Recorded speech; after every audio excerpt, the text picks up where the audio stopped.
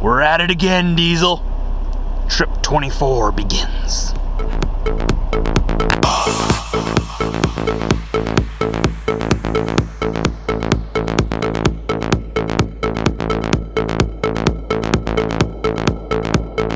That is right.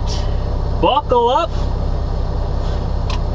We are leaving on trip 24 of this year. Trip 24 since I came back over the road, whatever you want to call it. Trip 24. We are headed to Calgary, Alberta. That is in Western Canada. My favorite Canadian city. But we are making stops on the way there. First, we got to go up north a little bit, go to St. Paul, Alberta. We got to go to Red Deer, Alberta, Rocky Mountain, Alberta, and then we're ending off in Calgary, Alberta. A lot of Alberta going on. So, we have 1,289 kilometers to our first drop. That is 13 hours of steady, good highway driving in good conditions. On road again.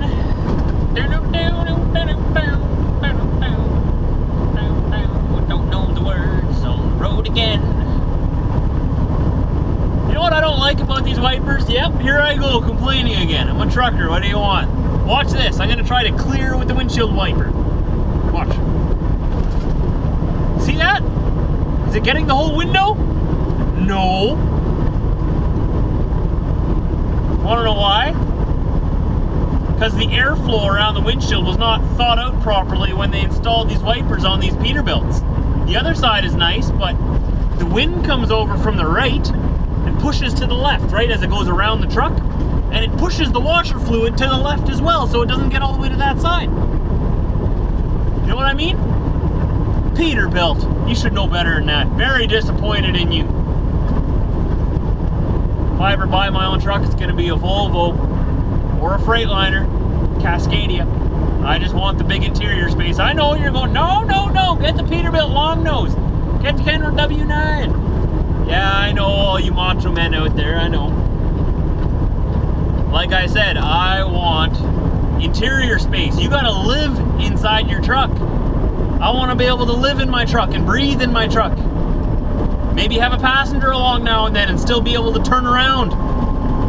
Know what I mean? Well, we're in the left lane here because we're going to Timmy's. I'll see you in a bit.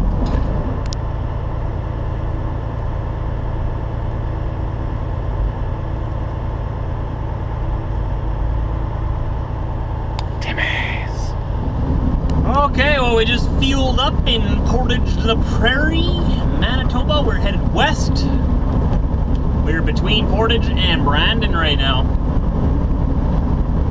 So we got a ways to go yet. I think I'm gonna try to get to Saskatoon late tonight yet.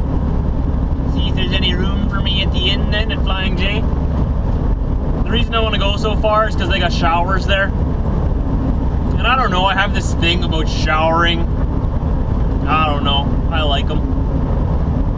So, and I know if I don't shower there, there's not going to be very many opportunities to shower.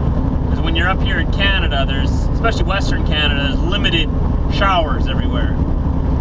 Not like in the States where you got a truck stop with a shower every half hour or less. Like right now, between me and Saskatoon, there's nothing.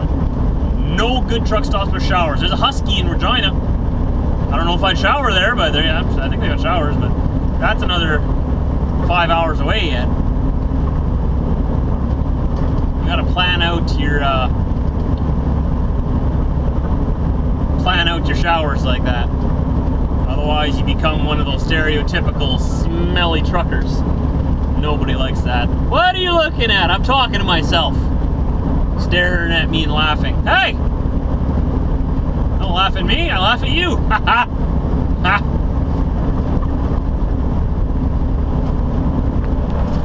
Brandon, Manitoba, Manitoba. Just passing through. Of course, there's traffic lights on Trans Canada, interstate, whatever you want to call it, Trans Canada. That's how you know you're in Canada. They put traffic lights on the freeway, making it only free to drive on. So, still technically freeway.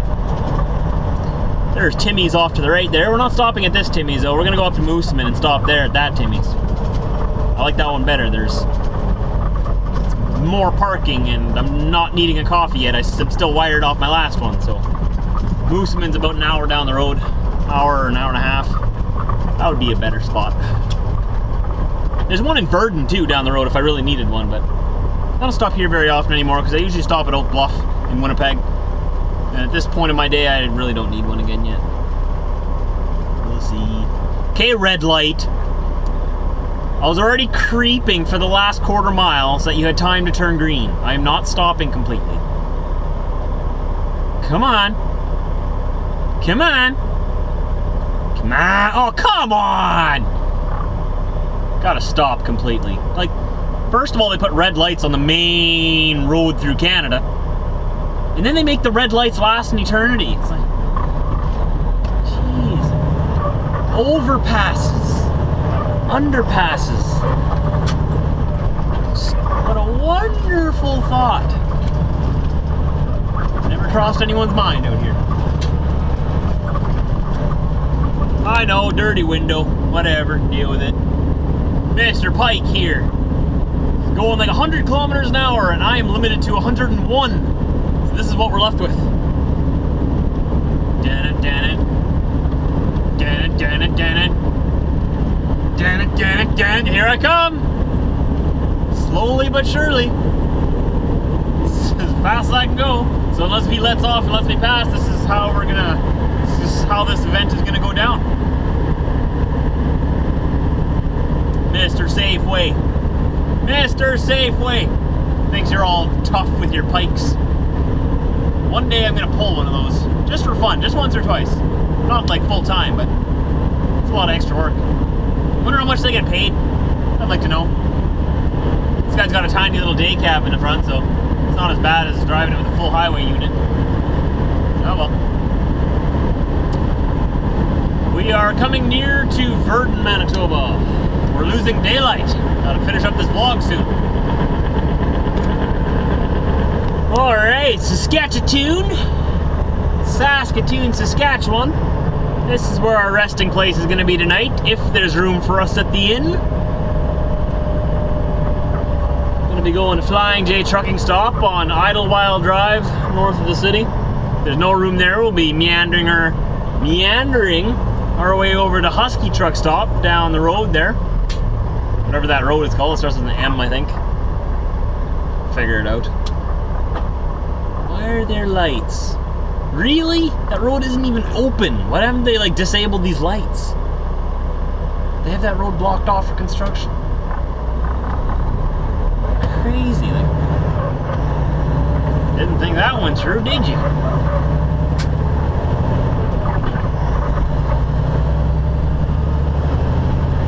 Anyways, yeah, we are probably 10 minutes from the inn see what we find when we get there. All right, well, we've arrived at the inn. The fact that all these trucks are parked all the way out here is not a good sign. Probably means that it's packed, full house in the actual parking lot. There's Mr. Pikes in front of us here, taking her super wide. It's 253 foot trailers behind him. At least I know he's not going to take any spot from me. I don't even know where they stop for the night. They have like special stops for the night where it's uh, like a drive-through parking, sort of like drive-through camping. Okay, well there's a spot beside that guy there. That's my backup. If I don't find any, let's troll around the parking lot here for a little bit look for your parking spot. Trolling for a parking spot. Dun dun. This would be a driveway here, Mr. Big Freight. Thank you for parking right in the driveway. Well, at least we can still get through, whatever. What is Mr. Four-Wheeler doing over here? What are you doing there? Just sitting there, doing nothing. No one's even in there, it's just a parked car. Alright, ladies and gentlemen, and this is how we troll for a parking spot. Always troll on the driver's side, because you gotta back in driver's side in, you know what I mean? You don't want to blindside it in. And there's a bobtail in there. I hate you. And there's a bobtail in there. I hate you too. There's a spot for Trucker Josh. Oh, that's tight though. We're gonna go see if there's anything else. Mr. Trapper here decided he didn't want to park in the lines and left little to no space on the other side there. All right, well, we made it. Here we are in our little parking spot. Right, Diesel? One of these days, you're gonna have to acknowledge the camera. You know that, right? It's not going anywhere. Mm. Nice nose you got there. Very nice nose.